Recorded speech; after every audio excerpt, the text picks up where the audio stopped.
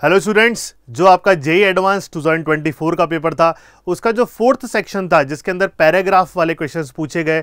हालाँकि आंसर तो वहाँ भी न्यूमेरिकल ही निकल के आ रहे थे, जैसे कि पहले इंटीजर टाइप थे। तो देखते हैं कि इसके अंदर क्वेश्चंस कैसे रहे, ठीक है? तो 14 से 17 आपके ये क्वेश्चंस थे। यहाँ पर मैं आपको बता देता हूँ। प्लस थ्री आपके थे करेक्ट होने पे and zero in all other cases तो नेगेटिव मार्किंग यहाँ पर नहीं थी बच्चों। देखते हैं कैसे करने हैं इन क्वेश्चंस को। तो पहला क्वेश्चन आपके सामने ये रहा ये जो क्वेश्चन है क्लास ट्वेल्थ के टॉपिक से पूछा गया बच्चों। ये आप वेव ऑप्टिक्स के अंदर पढ़ते हैं। क्वेश्चन का लेवल बेसिकली मॉडरेट ही था। पहले मैं इसका जो है आपको आंसर बता देता हूँ फोर्टीन क्वेश्चन का। फोर्टीन क्वेश्चन कह रहा है eighth bright fringe about the point O तो एट्थ ब्राइट फ्रिंज से रिलेटेड कुछ कैलकुलेशन है। Let me tell you the correct answer for this इसका जो आंसर था 601.5 माइक्रोमीटर ये निकल के आता है, ठीक है? दैट इज़ द आंसर देखते हैं कैसे करना है प्रॉब्लम को। In YDSC experiment each of the two slits A and B are shown in the figure are oscillating about their fix centre तो ये जो स्लिट्स हैं, ये ऐसे ऑसिलेट कर रही हैं बच्चों।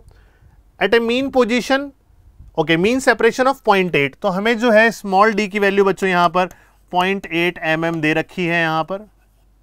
आगे देखिए। Distance between the slits at time t is given by this तो इसने बोल रखा है डिस्टेंस जो है स्लिट्स का। ये तो मैंने एब्सोल्यूट बता दिया था मेन पोजीशन वाला।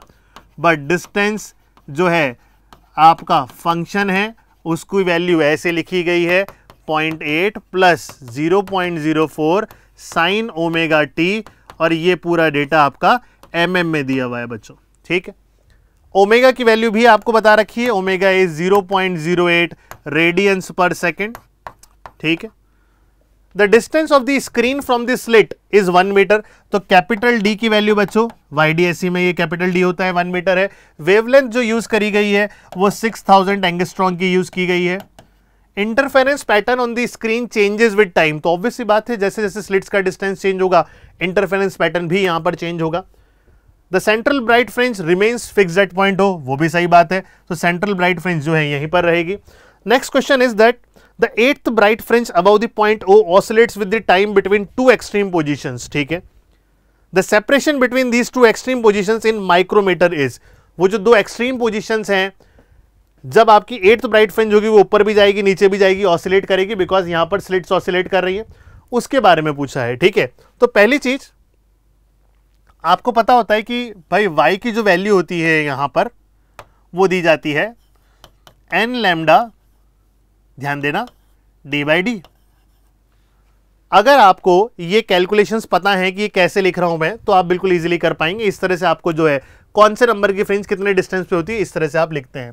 तो y की वैल्यू आपकी यहाँ पर निकल के आती है n is eight lambda D by D मैं वैल्यू डालता हूँ यहाँ पे एट लेमडा की वैल्यू बच्चों सिक्स थाउज़ेंड एंगस्ट्रॉन्ग है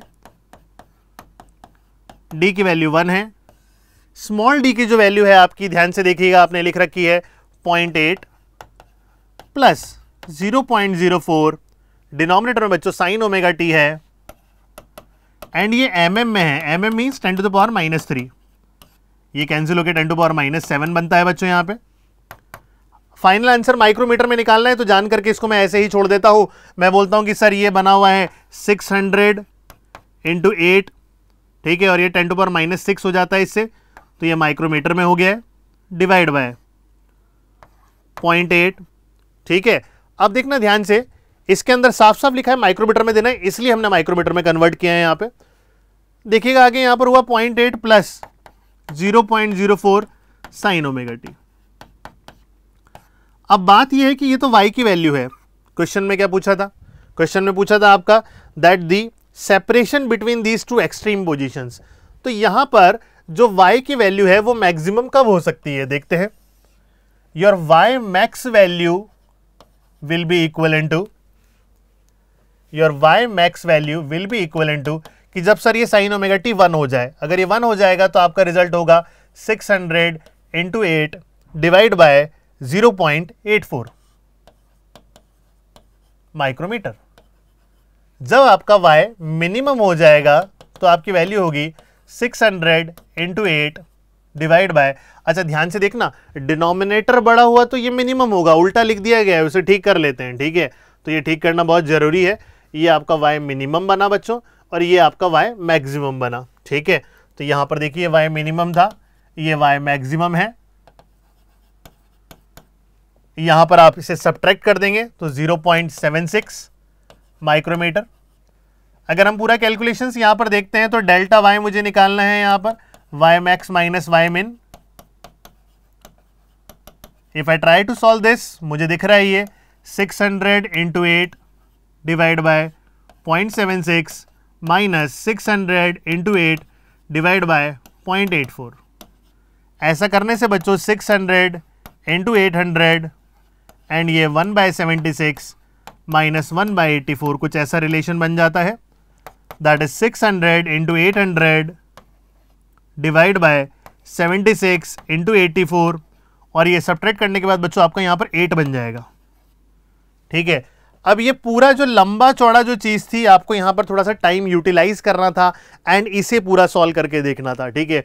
So yes it is little bit time consuming thing मैं जस्ट यहाँ पर for the reference check check कर लेता हूँ कि क्या आंसर मेरा बिल्कुल सही बना है या नहीं। तो 600 hundred into eight hundred into eight let me tell you calculators are not allowed in the examination ठीक है? बट अगर टाइम यूज़ करोगे तो इसे सॉल्व कर सकते हो। ठीक है? तो डिवाइड करता हूँ यहाँ पर। एग्जैक्टली 601.5 मेरा जो है आंसर यहाँ पर निकल के आता है। That is the way we need to solve this problem 601.5 and हमने शुरुआत से ही सारी चीज़ें माइक्रोमीटर में छोड़ रखी थी। यहाँ पर आपने लिखना छोड़ दिया था but this all is in micrometre so that is the final answer of this problem hopefully समझ में आया होगा कैसे करना है ये problem let us move to the next problem यहाँ पर नेक्स्ट प्रॉब्लम देखते हैं. नेक्स्ट प्रॉब्लम जो है पैराग्राफ वन का ही पार्ट है बच्चों. तो देखिए पैराग्राफ वन के अंदर जो चीज़ है, वापस से यही चीज़ आपको लिखी हुई मिली और बोला गया आपको the maximum speed in micrometre per second at which the eighth bright fringe will move अब आपको वेलोसिटी पूछी है. थोड़ा प्रॉब्लम इजी हो गया है रीज़न क्योंकि आपको वाई की वैल्यू पता है. Y is the position position की वैल्यू आप ऑलरेडी लिख चुके हैं, देखना है यहाँ पर. क्या लिख के आए आप? ये रही आपकी पोजिशन की value eight lambda D by D solve करने पे ये आया था आपका. तो आपने बोला six hundred into eight that is four eight double zero four eight double zero micrometre divide by hopefully नीचे जो वैल्यू है, वो यही चीज़ लिखी हुई होगी. Point eight plus zero point zero four sine omega t ठीक है? देख लेते हैं भाई। अच्छा एम mm में है, अभी गड़बड़ हो जाती है, ठीक है। बट ये एम mm में ऑलरेडी डाल के कन्वर्ट करने के बाद ही ये आ रहा है, ठीक है। तो ये कन्वर्ट करने के बाद ही फाइनल रिज़ल्ट आया तो टेंशन नहीं लेना है। एम ऑलरेडी कन्वर्टेड है। अब मुझे क्या करना है? बस स्पीड निकालने के लिए D y by D t करना है। D y by D t करते ही प्रॉब्लम सॉल्व हो जाती है।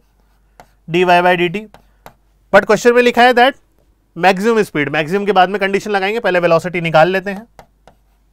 That is equal to four eight double zero अभी आंसर माइक्रोमीटर पर सेकंड बन जाएगा बच्चों। अच्छा ये पहले ऊपर लिखो। ऊपर लिखोगे तो पावर माइनस वन नीचे आएगी और स्क्वायर बन जाएगा इसका। That is zero point eight plus zero point zero four sine omega t whole square and sir differentiation इसका ज़ीरो हो जाएगा। पीछे वाले पार्ट का डिफ्रेंशिएट करोगे तो आपको दिख जाएगा यहाँ पर sir zero point zero four sine omega t का differentiation cos omega t then अंदर वाली चीज़ का डिफ्रेंशिएशन करोगे तो ओमेगा और मल्टीप्लाई हो जाएगा इस पूरे से। ठीक है? तो बड़े ध्यान से चीज़ों को समझ के वहाँ पर लिखना है। देखते हैं कि क्या होगा यहाँ पे। सर, जरा वैल्यूज़ लिख लीजिए। Velocity is equals to minus sine के साथ जो है यहाँ पर। सर, इससे मल्टीप्लाई करोगे यहाँ पर। अच्छा देख लेना कहीं यूनिट्स का कुछ प्रॉब्लम ना हो जाए हमारे साथ, ठीक है? 0.04 ये तो जस्ट एक नंबर है। ओमेगा रेडियन पर सेकंड में दे रखा है तो पर सेकंड आ जाएगा no problem four eight double zero से अगर ये मल्टीप्लाई हुआ तो forty eight into four sir omega की वैल्यू कितनी दे रखी है? Eight into ten to power minus two पीछे लिखा है बच्चों cos omega t and denominator में दे रखा है आपको point eight plus zero point zero four sine omega t का होल स्क्वायर ये आपकी वैल्यू माइक्रोमीटर पर सेकंड में आ रही है। अब यहाँ पर आगे सोचने की बात थी कि आपको इसे मैक्सिमाइज करना है। How can you do the maxima of this तो जरा सोचना यहाँ पर कि आप मैक्सिमा कैसे कर सकते हो यहाँ पर। आपने डिफ्रेंशिएट करके यहाँ तक तो आप पहुँच चुके हो। ठीक है? एंड आप बोलोगे, सर, यहाँ पर इसकी मैक्सिमम वैल्यू निकालनी है। तो ज़रा सोच लो भाई। कोई ऐसी चीज़ तो नहीं है जो हम यहाँ पर मिस कर रहे हैं। ठीक है? हाँ मैं बताता हूँ कि छोटी सी चीज़ क्या मिस कर रहे हो आप? देखना ध्यान से। सर, ये साइन ओमेगा टी इसके वेरिएशन से नंबर तो बहुत छोटा है। और छोटे में स्क्वायर कर रहे हो तो you can neglect this part a very important thing a very very important thing you can neglect this part the complete part is neglected here तो आपकी जो वेलोसिटी की वैल्यू निकल के आ रही है बच्चों finally that will be equal in to forty eight into four into eight mod maximum velocity 48 into 4 into 8 that will be equals to 32 into 10 to power minus 2 then denominator में आप देखिएगा, आपके सामने रहा है पॉइंट एट का whole square that is equal to point six four तो ये पॉइंट सिक्स फोर बन जाता है बच्चों. एंड ऊपर जो है आपका कॉस ओमेगा टी रह गया है बच्चों. कॉस ओमेगा टी रह गया है. एंड ये माइक्रोमीटर पर सेकेंड बच्चों, अगर मुझे यहाँ पर मॉड ऑफ़ वी मैक्स निकालना है यहाँ पर, अगर मैक्सिमम निकालना है आपको तो कॉस ओमेगा टी को वन कर दीजिए आप। तो ऐसा करते से आपका 48 eight into thirty two divide by ये नीचे आया 64 ये आपका माइक्रोमीटर पर सेकेंड बन जाता है। Your final answer will be equals to 24 तो यहाँ से आपका आंसर 24 माइक्रोमीटर पर सेकेंड बन जाता है। That is the final answer of this problem problem difficult नहीं थी। आई होप समझ में आया होगा कि मैंने कैसे सॉल्व किया है। So the final answer of this problem is 24 चलिए वाईडीएससी वाली प्रॉब्लम निमटी ये पैराग्राफ हमारा कंप्लीट हुआ। नेक्स्ट क्वेश्चन देखते हैं बच्चों यहाँ पर। पैराग्राफ टू ये जो क्वेश्चन है बच्चों, आपको क्लास इलेवन से पूछा गया था। यहाँ पर जो है सेंटर ऑफ़ मास की टेक्निक लगानी थी। साथ साथ में आपको जो है कॉलिजन्स के बारे में पता होना चाहिए था कि इलास्टिक कॉलिजन में क्या होता है। चलिए समझते क्वेश्चन जो है बच्चों, यहाँ पर मैं मॉडरेट कैटेगरी में डिफाइन करूँगा इसे। देखिए, क्या बोला है that two particles one and two each of mass m तो दोनों का मास बच्चों एम है यहाँ पर तो ये दोनों मासेस बच्चों यहाँ पर सेम दे रखे हैं हमें। एम मास एम मास आगे देखते हैं। Are connected by massive spring and are horizontal okay frictionless plane on a horizontal frictionless plane ये रखे हुए हैं particles as shown in the figure initially two particles with their centre of mass at x naught centre of mass बीचों बीच है। Are oscillating with an amplitude A तो amplitude ए से बच्चों ये ऑसिलेट कर रहे हैं। ठीक है। And angular frequency omega thus the position at a time t are given by this तो किसी टाइम टी पर पोजिशन हैं x naught plus D plus A sine omega t ठीक है। ये है। या फिर x naught minus D A sine omega t इसका कहने का मतलब है कि यार ये पोजीशन कभी माइनस डी है मीन पोजीशन और ये डी जो है प्लस डी ये मेन पोजिशन है, ठीक है? Respectively where D is greater than two a particle three of mass M moves towards this system with speed U is equals to ये A naught omega by two से move कर रहा है यहाँ पे। And under goes instantaneous elastic collision elastic collision की condition अभी हम लगाएँगे यहाँ पे। With particle two particle two से इलास्टिक कोलिजन करना है टाइम टी नॉट पे, ठीक है? Finally particle one and two acquire centre of mass speed VCM collision के बाद सेंटर ऑफ़ मास वीसीएम से आगे मूव करने लगेगा। And oscillate with amplitude B तो सेंटर ऑफ़ मास भी ऑसिलेट करने लगेगा बी एम्पलीट्यूड से यहाँ पे and the same angular frequency omega तो ये सारी चीज़ें पूछी गई है, आगे देखते हैं क्या है। If the collision occurs at time T naught is equal to zero T naught is equal to zero पे कॉलिजन हो रहा है value of VCM divide by A omega आपसे ये चीज़ पूछी गई है। अब देखिए, बड़ी इंपॉर्टेंट बात यहाँ पर कि आपका T is equal to zero पे क्या सिचुएशन बनेगा। अगर आप देखते हैं कि सर मैं time t is equal to zero इस इक्वेशन में डाल देता हूँ तो ये पूरा कंपोनेंट ज़ीरो हो गया आपका, ठीक है? अगर ये कंपोनेंट आपका ज़ीरो हो गया, इसका मतलब ऑब्जेक्ट कहाँ पर है आपका? मेन पोजीशन पे। मेन पोजीशन पे अगर आपका ऑब्जेक्ट होगा तो क्या ये मूव कर रहा होगा? जी हाँ मेन पोजीशन पे तो ऑब्जेक्ट मूव कर रहा होता है। तो उसी का बच्चों डायग्राम बना दो मेन पोजीशन का कि कैसे मूव कर रहा होगा आपका ऑब्जेक्ट ठीक है? मेन पोजीशन पे आप कह सकते हैं यहाँ पर कि सर ये ऐसे जा रहा होगा V2 से, ये ऐसे जा रहा होगा V1 से। Sir now the important thing is कि इसकी वेलोसिटी कैसे बताए मेन पोजीशन पे? इजीली निकाल सकते हो इस इक्वेशन को डिफरेंशिएट करके। इस इक्वेशन को डिफरेंशिएट करते तो D X one by D T is equals to V one that will be A omega cos omega T similarly इसको डिफरेंशिएट करोगे आप D X two by D T is equals to V two is equals to minus A omega cos omega T अब देखिए, अगर आप यहाँ पर T को ज़ीरो डाल देंगे तो कॉस ज़ीरो वन हो जाएगा कॉस ज़ीरो वन हो जाएगा। एक की वेलोसिटी ए ओमेगा है, दूसरी की वेलोसिटी माइनस ए ओमेगा है। आपको यहाँ से पता चल जाती है V2 की वैल्यू नेगेटिव आ रही है तो वो दिख भी रहा है यहाँ पर कि ये माइनस ए ओमेगा से आ रहा है। तो मैं इस पिक्चर को दोबारा से बना लेता हूँ एंड आपको समझाता हूँ कहानी क्या है।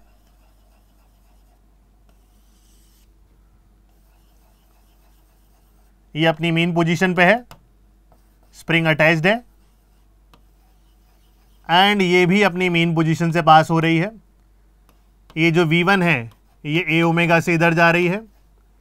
ये जो V2 है, ये नेगेटिव साइन का मतलब ओनली बच्चों डायरेक्शन होता है। ए ओमेगा से इधर आ रही है। ये जो V3 है I guess A omega by two ही दे रखा है इन्होंने। ए ओमेगा बाई टू से आ रही है। तो ये पिक्चर आपके सामने क्लियर हो गई है। ठीक है। कॉलिजन अकर से T is equal to zero इस कंडीशन पे कॉलिजन हो जाएगा। और आपसे पूछा है कि V C M by O omega निकाल दो। पहली चीज़, जब कॉलिजन होगा तो आपको कॉलिजन कौन सा कहा है? इलास्टिक कॉलिजन कहा है क्या पिक्चर में? देखना भाई। ठीक है? अंडरगोस इंस्टेंटेनियस इलास्टिक कॉलिजन लिखा हुआ है। इलास्टिक कॉलिजन है। इलास्टिक कॉलिजन की कंडीशन क्या होती है? अगर दो सेम मास की चीज़ें होती हैं तो वेलोसिटी एक्सचेंज हो जाती है। So at the instant of collision हम कहेंगे sir just at the instant of collision T is naught equals to zero पे कॉलिजन हो रहा है यहाँ पे, इसकी वेलोसिटी पे कोई इंपैक्ट नहीं पड़ा ए ओमेगा इनकी वेलोसिटी एक्सचेंज हो गई, ये ए ओमेगा से इधर जा रही है और ये ए ओमेगा बाई टू से इधर जा रही है। ठीक है? अगर मैं वी सी एम निकालना चाहता हूँ तो V C M is equals to M one V one plus M two V two divided by M one plus M two इससे क्या आएगा आपका? आप कह सकते हैं कि सर, इससे जो हमारा रिज़ल्ट यहाँ पर बन रहा है that is M into A omega by two plus M into A omega divide by two M ये कैंसिल हो जाता है। हमारा रिज़ल्ट बनता है three A omega by two into two the answer is three A omega by four is the V C M पर पूछा क्या गया था? V C M divided by A omega so so, आपका फाइनल आंसर जाता है three fourth that is point seven five is the final answer of this question बच्चों। इस तरह से क्वेश्चन सॉल्व किया जाना था। अच्छा क्वेश्चन था बहुत डिफ़िकल्ट नहीं था आसान प्रॉब्लम ही था। होपफुली समझ में आ गया होगा। इसका नेक्स्ट पार्ट देखते हैं बच्चों। सेम कॉम्प्रिहेंशन है। एंड आपको बोला गया if the collision occurs at T naught is equal to pi by two omega अगर मैं बोलता हूँ कि टाइम जो हो गया है वो पाए बाय टू ओमेगा हो गया है। Total time two pi by omega होता है। सो आई कैन से ये टोटल टाइम पीरियड का टी फोर्थ के बराबर है। टी फोर्थ पे क्या होगा? अगर एक्सट्रीम पोजीशन पे ऑब्जेक्ट है तो वो आपका सॉरी मीन पे था तो वो एक्सट्रीम पे पहुँच चुका है, ठीक है? देखते हैं अभी क्या होगा। तो यहाँ पर ये object T is equal to zero डालने पे मीन पोजीशन पे है, पता है आपको? तो ये एक्सट्रीम पे पहुँच चुका है, ठीक है? आगे पूछा है then the value of four B square upon A square will be ठीक है? देखते हैं। तो सर एट यहाँ पर बोला गया है at t is equals to t by 4 your objects will be like this.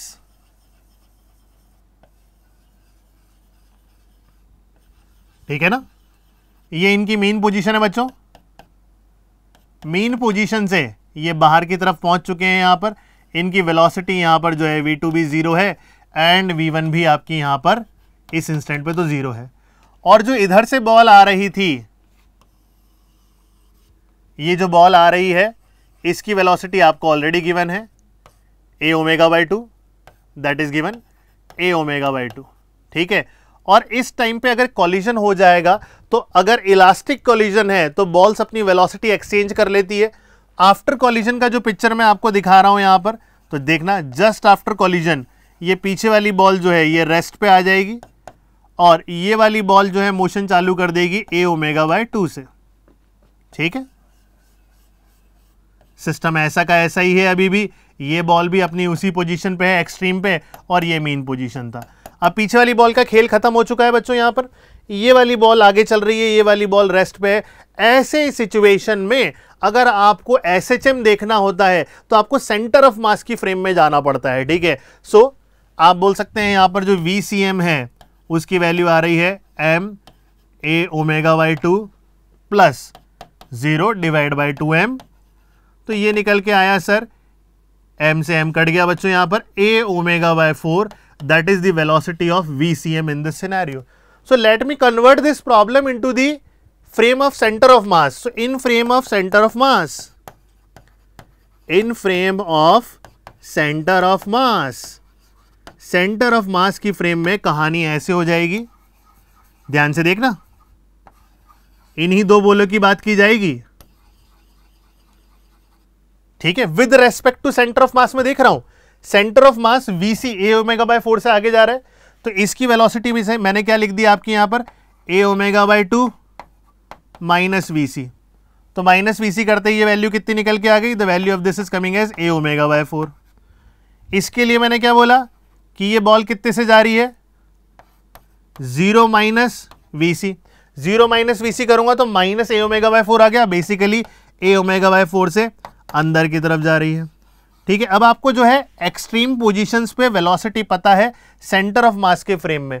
अब फाइनल जो इक्वेशन है आई होप ये चीज़ तो हमने पढ़ी रखी है that velocity at any instant is given as याद करो फॉर्मूला जो आप एस एच एम के अंदर पढ़ के आते हो that formula says that velocity is given as omega times of amplitude का स्क्वायर, इन्होंने क्वेश्चन में बोला था आप लोग के लिए कि नया एम्पलीट्यूड क्या हो जाता है बच्चों? नया एम्पलीट्यूड इज़ बी तो आपने बोला कि सेम एंगुलर फ्रीक्वेंसी है तो omega and B square minus X square centre of mass के फ्रेम में अगर आप ये इक्वेशन लगा दोगे तो अब ही आप इस क्वेश्चन को यहाँ पर सॉल्व कर पाओगे और फाइनल आंसर यहाँ पर बता पाओगे। तो वेलोसिटी की वैल्यू बच्चों, आपको पता है? ए ओमेगा बाय फोर आपकी यहाँ पर निकल के आ रही है, ठीक है? देन आप दूसरी साइड ओमेगा डाल दीजिए and that will be equals to डाल देता हूँ मैं डेटा आपको एक्सट्रीम पोजीशन पे पहुँच चुका है तो एक्सट्रीम पोजीशन कितनी है यहाँ पर? ये ए था डिस्टेंस ए डिस्टेंस था सिमिलरली ये भी बच्चों ए डिस्टेंस था। प्रॉब्लम अच्छा था, ऐसा नहीं था कि प्रॉब्लम बहुत इजी प्रॉब्लम है। ठीक है, अब ये अपने ए एम्पलीट्यूड पे ही है इस सिचुएशन में। ठीक है तो मैं कह देता हूँ सर ये value I A omega by four is equal to omega times of B square minus A square omega omega गया। स्क्वायर किया तो A square by sixteen is equals to B square minus A square यहाँ से चीज़ों को arrange करने के बाद जो फाइनल आंसर हमारा निकल के आ रहा है ए स्क्वायर इधर आएगा तो वो बन जाएगा आपका बच्चों seventeen A square by sixteen is equals to B square तो ये फाइनल रिज़ल्ट यहाँ पर आ रहा है बच्चों हमारा is equal to B square के बराबर हो जाता है ये। एंड हम कह सकते हैं यहाँ पे, सर रिज़ल्ट में पूछा था आपसे the value of four B square by A square तो four B square by A square अगर हमसे पूछेंगे तो four B square divide by A square is equals to यहाँ पर बनेगा आपका seventeen by four seventeen by four is four point two five I hope इसका answer four point two five होना चाहिए। देख लेते हैं कि फोर पॉइंट टू फाइव इसका करेक्ट आंसर है या नहीं है। तो इस प्रॉब्लम का बच्चों करेक्ट आंसर जो था फोर पॉइंट टू फाइव ही था। सो वेरी गुड इस तरह से जो है हमने इस प्रॉब्लम को देखा कि कैसे सॉल्व करना है। एक बहुत ही बढ़िया प्रॉब्लम ठीक है? तो मैंने आपको ऑलरेडी बता दिया था कि ये जो कॉम्प्रेंशन है class eleven centre of mass collision से इसका सेकंड पार्ट जो है, थोड़ा टफर साइड चला गया था, थोड़ा हार्ड पार्ट था। बाकी फ़र्स्ट पार्ट तो जो है मॉडरेट साइड ही था। That's all about this session बच्चों। आपको हमने जो है पूरा जे एडवांस का पेपर जो है यहाँ पर करके बताया। होपफुली बातें समझ में आई होगी। Best wishes for you guys all the best and अगर आपको किसी भी चीज़ में दिक्कत है, किसी भी सॉल्यूशंस में और हमसे चीज़ें जानना चाहते हैं so you all can comment below the video we are there to help you guys thank you बच्चों।